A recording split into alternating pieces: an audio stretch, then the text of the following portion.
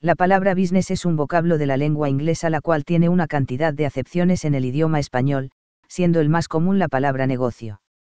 Entre las acepciones más corrientes de la palabra, bastante relacionadas con la anterior, también encontramos las de comercio, asunto, cosas o empresa.